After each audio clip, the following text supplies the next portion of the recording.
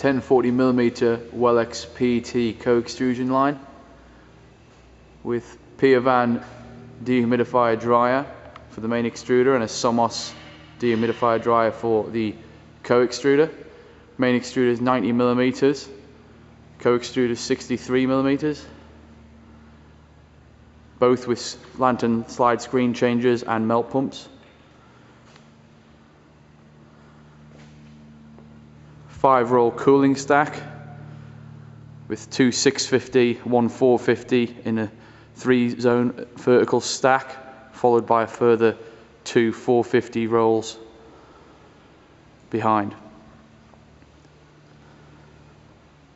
Five zone pump group and cooling conveyor. 1040 wide Welex haul off with pneumatic nip. 1040 wide two station turret winder.